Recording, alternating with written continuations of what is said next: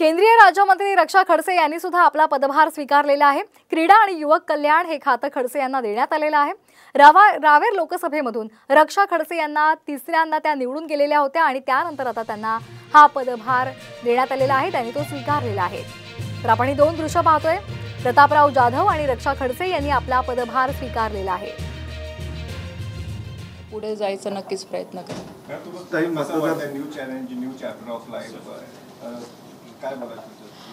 बघा जी मिनिस्ट्री मला मिळालेली आहे नक्कीच हे चॅलेंजिंग माझ्यासाठी आहे. कारण की आत्तापर्यंत मी जास्त कृषीमध्ये किंवा महिलांसाठी मी काम करत आलेली आहे. पण युवकांचे पण खूप त्याच्यामध्ये जे काही प्रश्न आहे तेही दहा वर्षामध्ये मी पुढे आणण्याचे प्रयत्न केलेलेच आहे. आणि आता स्वतः तिथे काम करायची मला संधी मिळते आहे.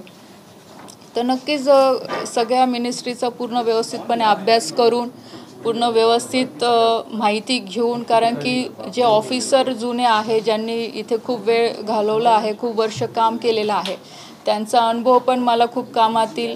जे आमचे पूर्वीचे मिनिस्टर राहून चुकलेले आहे त्यांची पण मी भेट घेईल. त्यांच्याकडनं पण बऱ्याचशा गोष्टी मी शिकायचा प्रयत्न करेल की जेणेकरून त्यांनी कसं काम केलेलं आहे किंवा मिनिस्ट्रीमध्ये अजून काही अडचणी येतात आहे का कामाला? काही प्रपोजल आपले काही थांबलेले आहे का?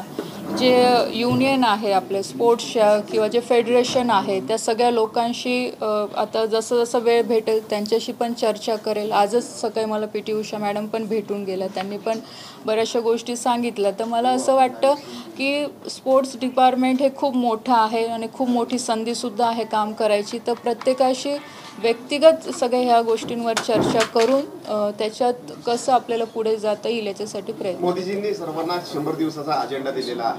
काय आहे अजेंडा आणि शंभर दिवसामध्ये काय काय केलं मला असं वाटतं मी आत्ताच तुमच्यासमोर इथे बसलेली आहे तर अजून अजेंडा माझ्यासमोर यायचा बाकी आहे.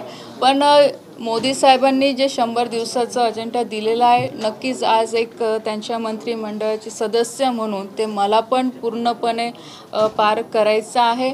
त्याच्यापेक्षा अजून काय जास्त चांगलं करता येईल याच्यासाठी प्रयत्न तर राहतीलच. मैडम हम हिंदी में चाहेंगे आपने अभी कैसे मोदी जी ने आपको ये मौका दिया है युवा